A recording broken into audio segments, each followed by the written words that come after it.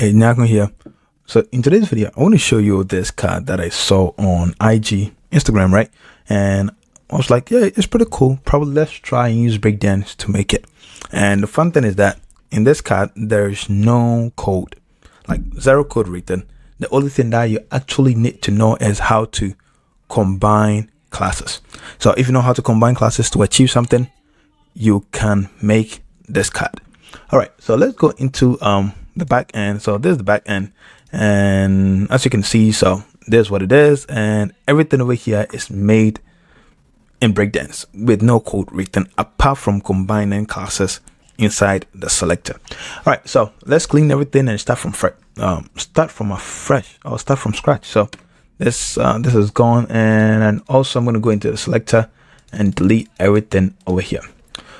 Okay, so first and first, let's add a section. And for this section uh, go in here. So there's our section and I'm going to make sure that the height is viewport. So we do have a section for the viewport. And the next thing I'm going to do is make sure that it's aligned vertically center center like that. And let me add in a grid. So there's the grid that is going to hold all the cards. So there's the first grid. This is grid and in this grid we do we do need it to be four. So we already have four here. We can leave that alone unless you want to change it to something else.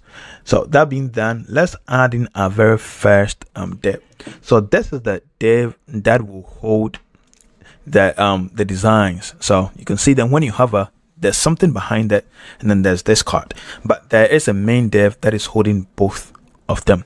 So that is this div this the div and let's give this div a class. Let's give it a class called my main div so in here let's say my main div all right so um yeah my main divs okay. So that is the main div and the next thing is to add in the thing that was behind it and the card that was on top of it. And the thing behind it i used an image. So this main div is being selected I'm going to go into add and then look for an image. You can use this image or you can use the other image element that breakdance offers. So this image is added. I am going to add the next thing, which is the card on top, and that's and that card is a div. So add the card, and then I'm going to go into container with the height. I'm going to make sure that this is 350 pixels. Click back on that image too. We can also give it a height of 350 pixels. Make sure that um, the object fit is cover. And also you can make this 100% if you want. I'm going to make it 100%. So that is fine. The next thing is to come back to this div and then also make sure that this is 100%. So that is good. Um, you remember that when you hover on my main div, the rest of the items are animating um, themselves. So to do that, let's make sure that this image has a class. So let's call it my image or my img. Then this div, let's go um, to advanced and also give it a class called my div. You can give it a class that is appropriate. These classes are just for um, tutorial purposes. So add that and that is good. So this everything has a class over here when we hover on my main div, this image rotates negative 5 degrees and this div rotates 5 degrees and it comes down 100 pixels. So we are going to do them when we get there. But you can see that this div is on top of the image. We are going to also do that. But before that, let's click back on the image and then go into styling. I want to give it a border radius of 25 pixels that is good. And then i'm going to go in here and i'm going to choose an image that i do want. I'm going to choose this. So that is fine. We do have that. Clicking back on our div. Let's style this more. Over here i'm going to go into border and also give it 25 pixels. Go into padding and for padding i'm going to give it 20 pixels on each side. So 20 here and just click on apply to all which is really good and I think that is um that is good. Um, the next thing that I am going to do is populate the div with the information that we do need. So let me click on add, and I'm going to add a div inside, and that div is going to hold um a heading, and it is also going to hold a normal text. So that is this div, and with this heading, I'm just going to change everything here to Moreblocks, right, and then change this one to H2 go into the styling if I did have a preset I would have applied the preset but since I don't I'm going to use 1.2 REMs and then for the uh, for the weight I'm going to change this on to 500 pixels which is fine. And let's click back on this div go into layout and give it a gap of 10 which is pretty good. All right so the next thing I'm going to do is to add that um the quotation thing that we do have over here. So that quotation we can do it manually by clicking on add and then we're going to add another div which is going to be that. And then I'm going to add an icon so icon. And then I'm going to add a text. Let me go into um, Logarithm and then copy some generated text and paste it over here. All right so with this I'm going to go into um, the styling panel going to typography. And the font size 0 0.85 which is fine. Just make sure it's rem which is good all right so we can reduce the um the text to this and this is fine. Uh this being done i'm going to make sure that i give it a bit of like separation. Um so the gap to do that i'm going to go into layout but make sure that this is selected which has the icon and this text. Go into layout and then for horizontal make sure there's a space in between. Oh sorry that is not what i should have done i want to make sure that everything over here is spaced in between. So this one which is our inner div so this very one horizontal make sure this is space in between. And then I wanted to do the space in between from the desktop so this is what happens. All right let's give this um a background color. So background color of this which is um which is good. All right so the next thing probably that we want to do is to stack this div on top of this image. Uh, probably I want to give it a bit more of um, padding let's make this one like 40 pixels right? I think 40 pixels probably too much. Maybe 30 pixels. All right uh, let me save that.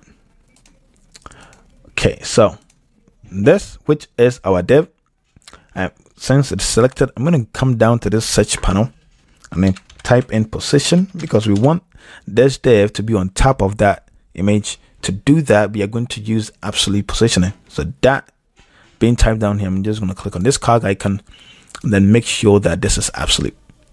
So that um that is that. We have stacked this on top of the image. Now we have added all our classes. And it is time for us to animate it.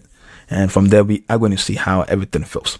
All right so the idea over here is that when we hover on let me just click here and change the name to inner um, div, right? And then we can leave that one and let's say, um, uh, okay, let's this one inner dev rather, and then change this one name to main dev All right, and that is good. So when we have our on main dev we want our image to rotate five degrees, and then we want our inner dev to rotate, um, we want our image to rotate negative five degrees and our inner div to rotate 5 degrees and also translate down 100 pixels. So to do that, let's go into our selector panel. And over here, what we want to do is we want to hover on my main div and then we want the animation to happen. So to let's click here and then type in dot my main div. So that is the first thing you have to type what do we want to do? We want to hover on it. So let's put in um, a column and then type in hover. So we are saying that when we hover on my main div, we want an animation to affect my image. So let's give it a space and type in my img. But remember that you put you have to put in your period sign to make sure that this is if this is a class, put in the period sign. If this is an ID, make sure you put on um, you, you put the hash sign or the pound sign, whatever they call that. So um, this is what we have done. I'm just going to click on add, and that is good. So let's click on this edit button. And then in here, what we do want to actually do is to cause the rotation to happen. So clicking on effect, that is where we can find the rotation. We can go into transform and click on add. Let me bring this out. And then over here, I'm going to click um, look for rotate. We want to rotate on the y-axis so let's give this one like a big rotate so that we can actually like see it. So we give it like 35 so that is done. Um, the next thing that we want to do is that we also want to um, rotate the the div that is on top you can see that when i hover on my main div it is happening right? That is cool. Um, the next thing is i'm just going to click on here and i'm going to copy what is in the front then go back and i'm just going to paste it here and then give it a space and then I'm going to add this class which is period sign my dev. so we are saying that when we hover on my main dev, we want something to happen to my dev. so let's click on add and then over here we are going to click on this edit button and then when we go into effect so for effect I am going to go into going to transform right and then let me drag this over here and click on add item and then change this one to rotate and then make this one also let's say 35 right? Uh, let's make this negative 35 we'll be back. We'll fix it later. So negative 35 and then let's close this and then click on add again. Over here we want to bring it down which is translate. So let's look for translate and then for we want to translate on the x axis. So let's make this one 100 pixels. All right. So we can close it and then we can come here and then you can see that things are moving like really crazy as you can see. And it is not smooth enough. So to make sure that this is smooth so that we can actually see what is happening i'm going to go back into our selector. And then for this um sorry the one that we are animating which is my image and my div i'm going to click on the edit sign or the edit icon and then come into effect and then on transition. We want to transition smoothly. So let's give this one 300 pixels so when i hover on here you can see that the one behind it is doing like a really nice job so going back into our selector I'm going to go into my dev So click on the edit sign, go into effect, change the transition, make sure that this is also 300 pixels.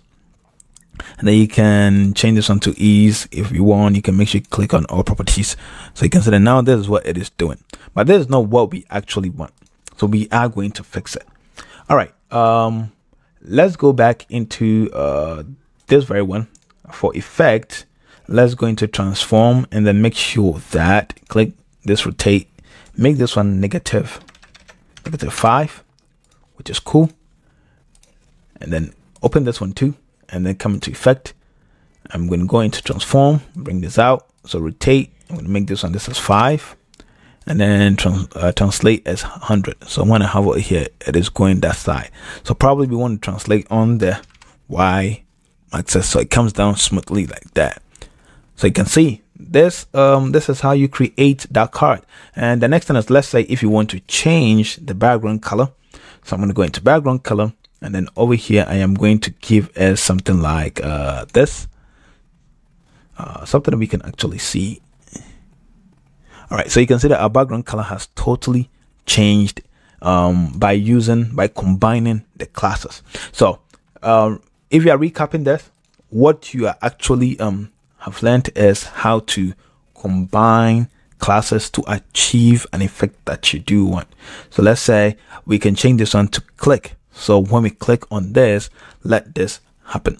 Um, you can do more with JavaScript, but also CSS gives you the opportunity to also do this, um, this kind of like hover effect and other things like that. The next thing that probably we should do now is to duplicate the cards, right? So if we duplicate the card, will the effect still work? It should. So I'm just going to duplicate and then duplicate and then duplicate. All right, let's close. Let's collapse everything. I'm to save it. So when you hover, you can see that when you hover on this, it doesn't go and affect that. Everything does, um, that's the animation when they have been hovered. All right, let's save this and then go into the front, refresh this. And then you can see that this is what we do have. A really nice um animation. Oh it looks like our button is not it's not properly it's not properly done. So let's give this one a coat. All right let's put this over here and i'm going to change the color to black right? Mm, all right let me just all right let me just save that. And then since duplicating is really easy i'm just going to delete everything. And then for this i'm going to duplicate it four times and save it. And then come out here and then refresh it. So when you hover you do have this nice coming down rotate animation. As I said, I saw this design on Instagram and I thought it would be nice to showcase it for you guys to see and also to let you know that you can build these without writing even one line of code. As long as you know how to combine classes, it is like really simple to create some of these animations. All right, name is Nyako. Um, yeah, if you haven't subscribed to the channel, you can. Um, if you did like the video too, you can give it a thumbs up.